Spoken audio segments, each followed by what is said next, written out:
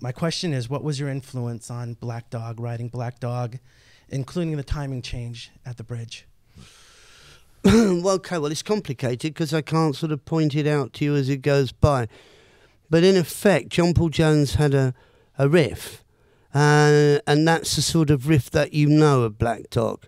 Or, okay, so so he had that, but that's what that's what it was. It was just a riff, and and uh, he was sort of playing it over and over, and I, and it was tricky. It was tricky to play. Certainly, the bit where it goes into the sort of where, where, where it goes into sort of triplets in one part, and and, and you know it overlays um, or overlaps.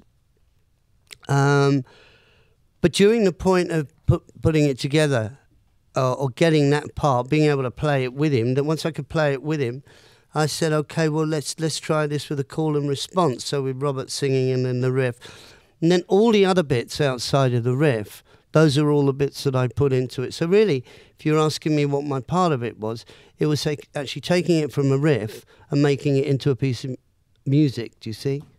Uh, more constructed and, and more as a working piece, so we could all sort of play it.